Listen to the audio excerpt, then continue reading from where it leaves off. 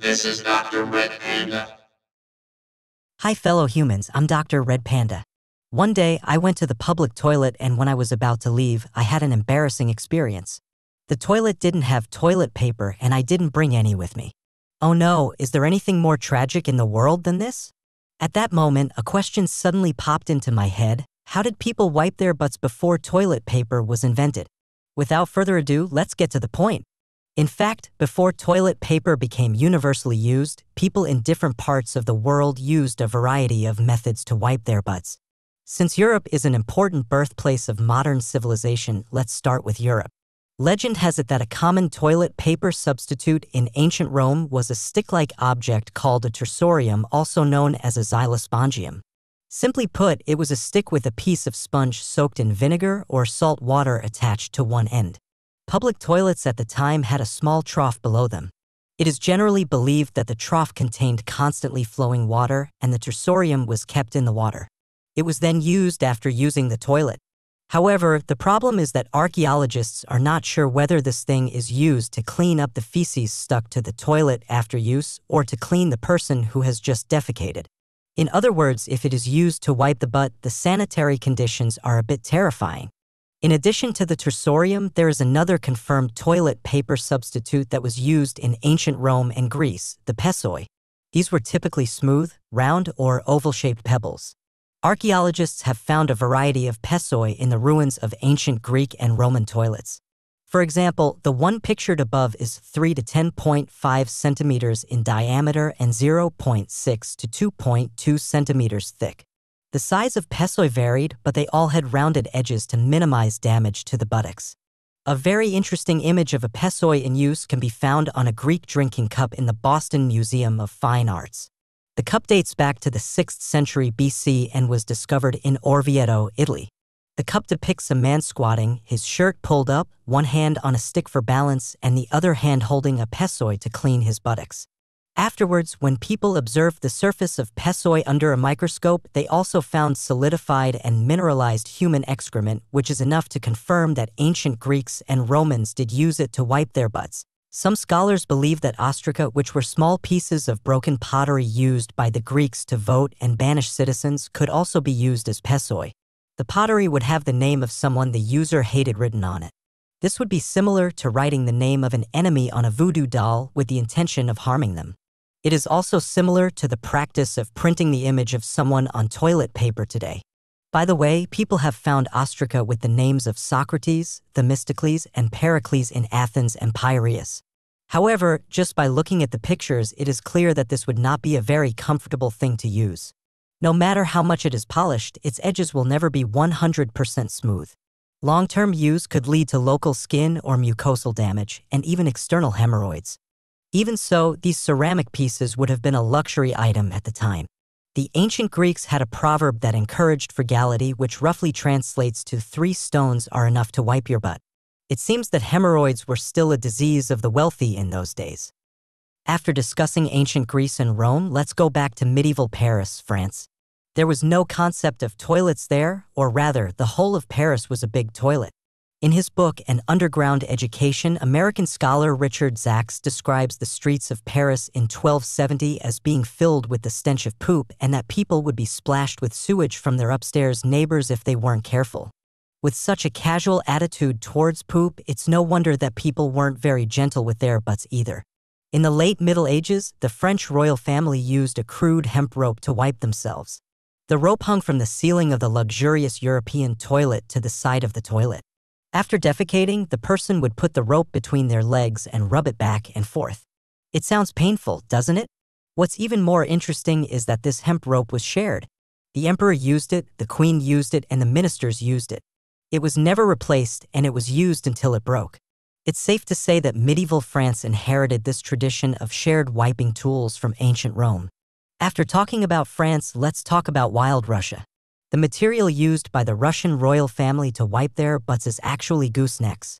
After each member of the royal family finishes using the toilet, his attendants will slaughter a goose and then cut off the goose's neck for the royal family members to wipe their butts with.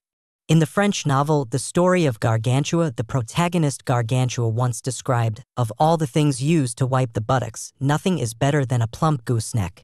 The buttocks can feel a kind of pleasure, both the softness of the fur and the warmth of the goose's body. The rest is up to you to think about. However, from another perspective, this would require killing a goose every time you go to the toilet. What if the czar had diarrhea? Oh, I really dare not think about it. Compared to the meticulous attitudes of the royalty and nobility, the commoners in these two nations probably didn't bother too much about wiping. After relieving themselves, they would either pull up their pants and go, or use whatever materials available nearby, such as leaves or straw. It was all very rustic. Speaking of Europe, how can we not mention the ancient Norse Vikings? They had a fondness for squatting in a row and using sheep's wool to clean themselves. Imagine a piece of wool, warm from your body heat, soft to the touch. The moment it contacts your skin, a comforting warmth seems to sink into your very soul. This must have been a delightful experience for humans. It's just a shame for the sheep that were shorn. Compared to other European countries, which are known for their wildness, Britain, which is also located in Europe, is much more reserved. They have learned from the experiences of France and Rome and have made major innovations in both toilet facilities and toilet paper. In the early days, London was built with many castles, to solve the problem of using the toilet in the castle, the British chose to build independent bathrooms on the edge walls of the castle. They also followed the Roman sanitation model and built a sewer system through which all the excrement in the castle could be drained into the moat. The civilized British royal family, of course, would not use coarse hemp ropes or sponges to wipe themselves. According to records, before the 15th century, the British royal family mainly used fresh salmon slices to wipe themselves. Salmon, also known as expensive salmon, was something that commoners could not even afford to eat, let alone use to wipe their butts. So, a single trip to the toilet for the British royal family cost the average citizen several days of living expenses. It is said that salmon has the effect of removing odor and eliminating hemorrhoids, which is also the reason why the British royal family used it as a wiping tool. However, this has not been scientifically proven. At this point, I am planning to tell my friend this cold knowledge the next time I invite her to eat sushi. I think she would thank me. However, the toilet environment for commoners in medieval Britain was not so good. Most of the London residents chose to use the toilet on London Bridge, and the excrement directly fell into the river from the bridge. As a result, the boatmen at that time did not like to go under the bridge, and even a proverb was spread smart people pass over the bridge, fools pass under the bridge. Ordinary British civilians used old wool and rags to wipe their butts, which were thrown away after use. It sounds similar to our current toilet paper, at least much more hygienic than other European countries. In contrast to the wildness of Europe in the Middle Ages, many Asian countries of the same period had already adopted relatively civilized wiping tools. Especially in ancient China, according to historical records, the main wiping tool for Chinese people before the Ming dynasty was still toilet strips, which is a long and thin bamboo stick. After using the toilet, use the toilet strips to scrape the butt clean. Even in wealthy families, using strips is very particular. Not only the material of the strips is good, but also spraying perfume is considered a high-end enjoyment. It is very interesting that the used toilet strips are actually a Chinese medicine. The ancient Chinese medical book Compendium of Materia Medica clearly records that the used toilet strips can cure difficult labor and cholera. Well, I won't continue to explore the mysterious medicine of the ancient East. Speaking of China, let's now turn our attention to Japan, a country renowned for its astonishing creativity. According to the tale of Genji, the Japanese royals used cicada wings to wipe their bottoms. Since cicada wings are quite hard, they are typically soaked in warm water for three days after capture until they soften enough to be used. However, considering the small size of cicada wings, their use for this purpose no doubt requires skill, prompting me to harbor a smidgen of respect for the royal family members of that era. Are there any affordable and preferably free options? Actually, there is. Indians have always considered the left hand to be unclean from ancient times to the present. Therefore, such dirty things as defecation are naturally dealt with by the dirty left hand. Specifically, after the matter is resolved, use the left hand to dip a little water and clean directly. Then wash your hands repeatedly with water and finally use your nose to smell to check if there is still any odor. It is precisely because of this habit that many toilets in India to this day do not have toilet paper. On the contrary, the standard configuration is a bucket filled with water and a ladle. It is similar to the intelligent water flush toilet seat of today. Obviously, the effect of washing with hands and water is much better than toilet strips and toilet paper. Therefore, Indians generally do not have hemorrhoids.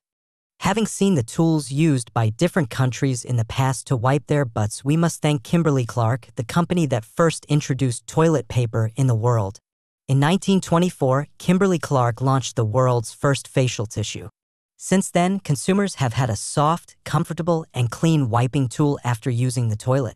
Therefore, Kimberly Clark was selected by Business Week as one of the 100 most valuable brands in the world.